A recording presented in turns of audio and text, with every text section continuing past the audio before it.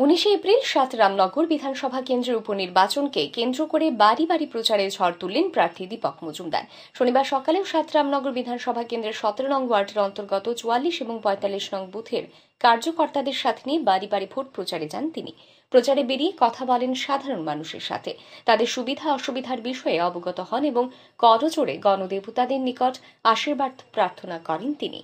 এদিন প্রচার চলাকালীন এক সাক্ষাৎকারে বিজেপি প্রার্থী দীপক মজুমদার জানান, বিজেপির প্রার্থী হিসেবে শুক্রবার থেকেই আনুষ্ঠানিকভাবে বাড়ি বাড়ি ভোট প্রচারে বের হয়েছেন তিনি। সারা বছরই ভারতীয় জনতা পার্টির কার্যকর্তারা প্রতিনিয়তই বিভিন্ন কর্মসূচির মাধ্যমে মানুষের সঙ্গে জনসম্পর্ক স্থাপন করে থাকেন। কেন্দ্র ও রাজ্য সরকারের বিভিন্ন প্রকল্পগুলির সুবিধা দেওয়ার জন্য সারা বছরই কাজ করে থাকে ভারতীয় জনতা পার্টি।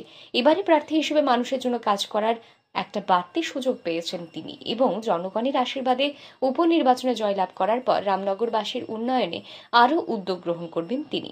পাশাপাশি এদিন পশ্চিম ত্রিপুরা লোকসভা আসনের প্রার্থী বিপ্লব কুমার দেবের জন্য ভোট প্রার্থনা করেন দীপক মজুমদার।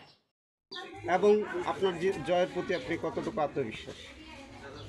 গতকাল থেকে আনুষ্ঠানিকভাবে বাড়ি বাড়ি প্রচারে বিজেপি প্রার্থী হিসেবে এমনিতেই আমাদের ভারতীয় জনতা পার্টির কার্যকর্তারা প্রতিনিয়ত প্রতি সময় বিভিন্ন কর্মসূচির মাধ্যমে মানুষের সঙ্গে সরকার এবং সরকারের বিভিন্ন প্রকল্পে যে সুবিধাগুলি দেওয়া সেগুলির জন্য সারা বছরই কাজ করে।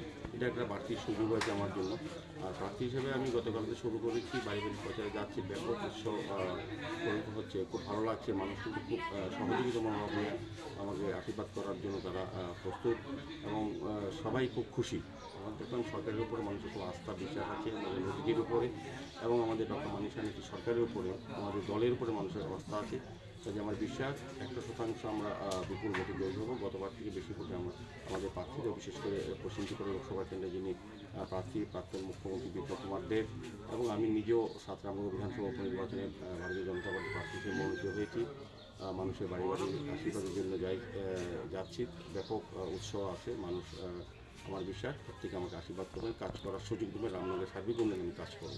স্যার অপোজিশনের তরফ থেকে একটা এলিগেশন হচ্ছে যে, দশ বছর ধরে সরকার কোনো কাজই করেনি জাস্ট জুমলা বলে তারা আখ্যায়িত করেছে। এই ব্যাপারে আপনার রিয়েকশনটা কি? বিরোধীরা বা অন্যরা কী বলল সে বিষয়ে আমি যাচ্ছি না। আমি, আমরা শুধু আমাদের কাজ হচ্ছে এই গত দুই হাজার আঠারো নির্বাচনে বিজেপি সরকার আসার পর আমাদের রাজ্যে কী কী উন্নয়ন হয়েছে, আমাদের শহরে কী উন্নয়ন হয়েছে, আমাদের রামনগর বিধানসভা কী উন্নয়ন, সেটাই আমরা দিচ্ছি উন্নয়নের দিকে ভোট চেয়েছি কারা কী বলছে, এইসব চিন্তা করে লাভ নেই ঠিক সাত রামনগর বিধানসভার উপনির্বাচন এবং পশ্চিম ত্রিপুরা লোকসভা আসনে ভারতীয় জনতা পার্টি বিপুল ভোটার ব্যবধানে জয়লাভ করবেন বলে আশা ব্যক্ত করেন প্রার্থী দীপক মজুমদার। ব্যুরো রিপোর্ট আর ই নিউজ।